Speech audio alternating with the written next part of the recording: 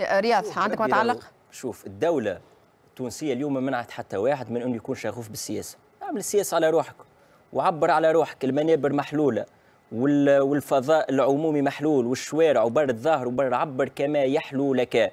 وهذا مضمون بنص الدستور في دستور 25 جويلية وهذا ما أثبته الواقع من 25 جويلية 2021 والناس بشكل دوري تتظاهر وتعبر وحتى واحد ما تعرض لها في أي حاجة. لكن أنه نوصلوا أو نتجاوزوا مرحلة العمالة والخيانة إلى مرحلة التبجح بالعمالة فهذا راهو خطير وهذا ماهوش مضمون. راهو يا ناس راهو راهو فاهمين على شو معنى التبجح بالعمالة؟ par exemple نعطيك exemple من اليوم آه اليوم نسمع في سي جوهر بن مبارك في إذاعة خاصة. قال لك من حقنا من حقنا كمعارضة من حقنا نحكيو مع الدول. نتعاملوا مع الدول ونتعاملوا مع السفارات ونتعاملوا مع الأجانب. من حقنا. احكي معاه هذا.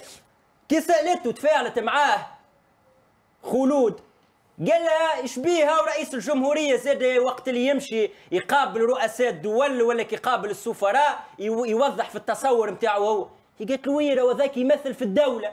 راهو ذاك منتخب ديمقراطيا بالصندوق. أنت شنو هي سيفتك اليوم باش تربط العلاقة مع السفراء شنو سيفتك اليوم باش تحاول تربط العلاقة مع الجهات سيادية سواء في الداخل ولا في الخارج؟ يا ناس راهو عيب راهو راهو مش معقول ما تبقى من هذه الدولة اللي دمروها عشر سنين. نزيدوا إحنا اليوم باللامبالاة واللا أدرية والميوعة نزيدوا نطيحوها الدولة هذه على رؤوس الناس الكل. يا عاد شبيه والله عملت قهوة مع سفير. يا عاد شبيه تعشيت مع ما نعرفش آه، جهة أجنبية. مع عميل مع مخبر. تو هذا normal. تو هذا خليهم مجال مولدي كلامه صحيح رياض علاش؟ لأنه 10 سنوات ولا 11 والسفراء يرتعون في البلاد ويفعلون ما يريدون. كيفاش نميزوا أهداف اللقاءات هذه لأنه هذا هو جوهر الموضوع. السفير راهو المعتمد في تونس. راهو عنده قانون وعنده بروتوكول يتحكم فيه. راهو السفير وقت يجي غادر منطقة نتاع 30 كيلومتر يلزمه يعلم الدولة والسلطات معناها التونسية.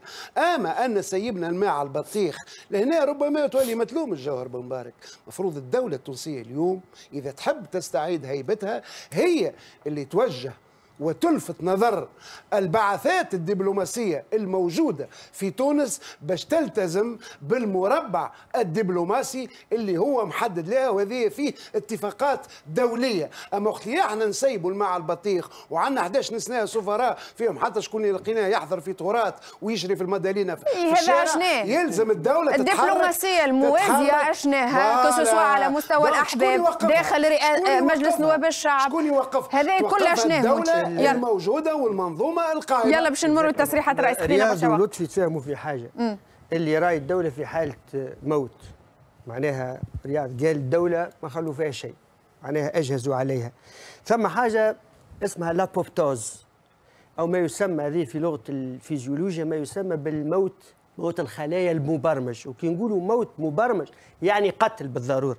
المشكلة اللي قتل خلايا المبرمج خلايا الدولة بدا كما قال لطفي من سنوات التالي لما كانت السفراء ترتع في البلاد والبلاد كلها ردوها ردوها كما أردن شمال إفريقيا يعني تقريبا المحيط نتاعها الكل يلزم تتحول الأردن آنذاك في علاقة بكل التوترات في الشرق الأوسط. كلها تطبخ هناك. يعني أيضا تونس تحولت إلى مطبخ وغرفة عمليات سفراء استخبارات إلى غير ذلك أجانب كل شيء. لدرجة أنه تلك الخلايا الحيوية اللي تعتاش منها الدولة بدأت تموت بشوي بشوي. المشكلة اللي الخيارات تو اللي قاعدين نشوفوا فيها هي تستأنف في عملية القتل المبرمج لخلايا الدولة. لما نلقى كل شيء انكسري في قرار سيد واحد الرئيس السيد هو المؤسس. هو الذي يكتب الدستور هو الذي يأمر هو الذي يشع على الجميع وهو الشمس التي تضيء على الجميع. وين دور المؤسسات الأخرى في نهاية الأمر؟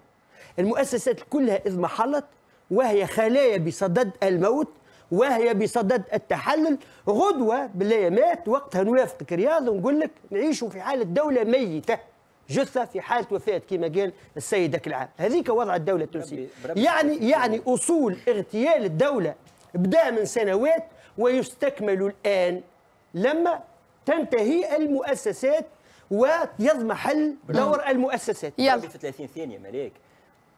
أنا الحقيقة مستغرب من استغراب برشا ناس كيف نحكيو على الانقلابات وكيف نحكيو على التآمر على أمن الدولة وزعزعة أمن واستقرار البلاد وكذا القضايا الكبيرة هذه وكأنه مفجوعين نحن وكأننا مستغربين منها يا وليدي راهو فما حاجات مرت على مسامع الجميع.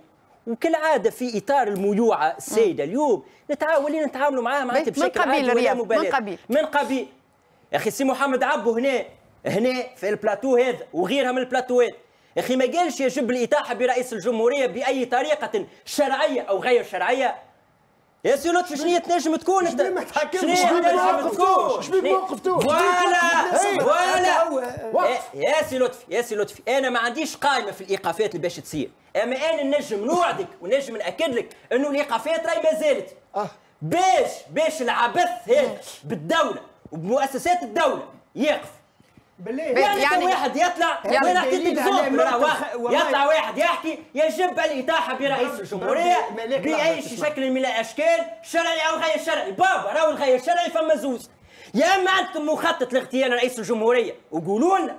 يا إما عندكم فكرة أو مخطط للانقلاب على رئيس الج... على رئيس الجمهورية بربط العلاقة مع جهات إذا كان يشكل خطر أو تصريحات علاش ما تمش سألك إذا كان تصريحات مش مع بعض شوف أنا القضية محلولة. سي لطفي سي لطفي الإيقافات بدأت. لحظة برك واللي عمل تو يخلص واللي ما عملش إحنا ماشي مع الظلم. واللي ما عملش تو طبعا.